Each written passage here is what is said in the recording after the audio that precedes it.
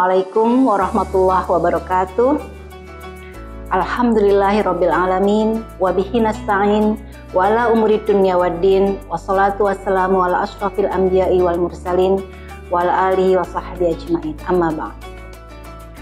Pemirsa Hikmah Ramadan UIN Jakarta yang berbahagia dan dirahmati Allah Subhanahu wa taala.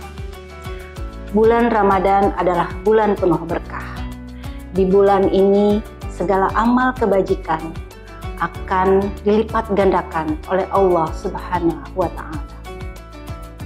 Selain kita berpuasa satu bulan penuh yang diperintahkan oleh Allah Subhanahu wa Ta'ala, kita disunahkan untuk beramal soleh. Salah satunya adalah memperbanyak berbagi, memperbanyak bersedekah. Berbagi di bulan Ramadan adalah keutamaan yang sangat-sangat tinggi. Dalam sebuah hadis yang diriwayatkan oleh Imam Tirmizi, Rasulullah Shallallahu Alaihi Wasallam menyebutkan, Ya Rasulullah, ayus sadaqati afdal, kola sadaqatun fi Ramadan. Salah seorang sahabat bertanya kepada Rasulullah, Ya Rasulullah, sedekah apakah yang paling utama? Rasulullah kemudian menjawab, sedekah di bulan Ramadan. Ini hadis yang diriwayatkan oleh Imam Tirmizi.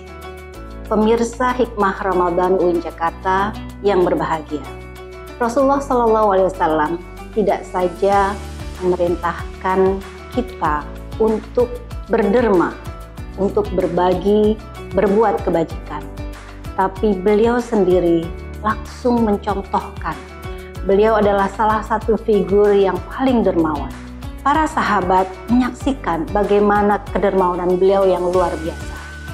Salah satunya diabadikan dalam sebuah riwayat yang disampaikan oleh Abdullah bin Abbas dan diriwayatkan dalam hadis Imam Bukhari.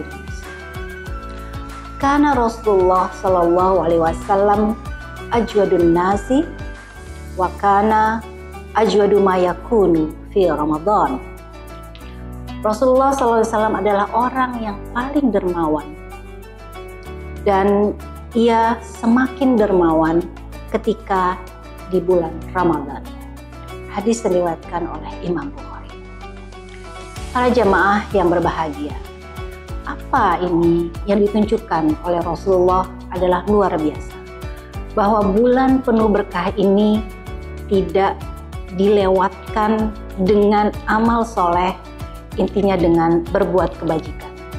Karena berpuasa itu intinya adalah memerangi hawa nafsu, menguatkan jiwa kita, menguatkan empati kita sebagai manusia untuk lebih banyak berbagi kepada manusia yang lain, lebih banyak memperhatikan mereka-mereka yang membutuhkan.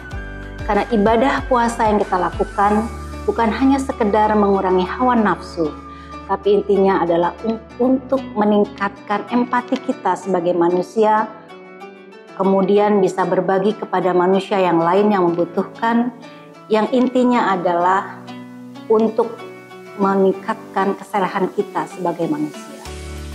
Dalam sebuah uh, hadis disebutkan Nabi Muhammad menyatakan as-sadaqatu burhan.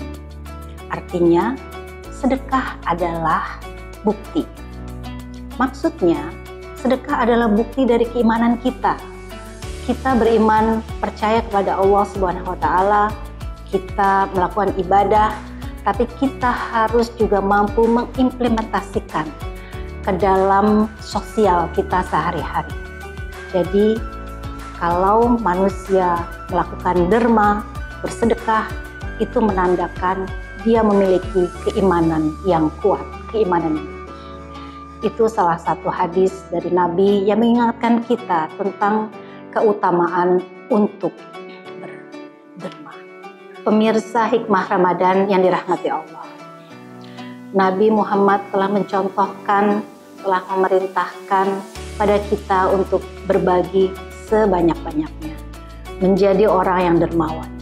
Di bulan puasa ini juga beliau mencontohkan dan menyampaikan bahwa ber, berbagi di bulan Ramadan adalah berbagi yang paling utama.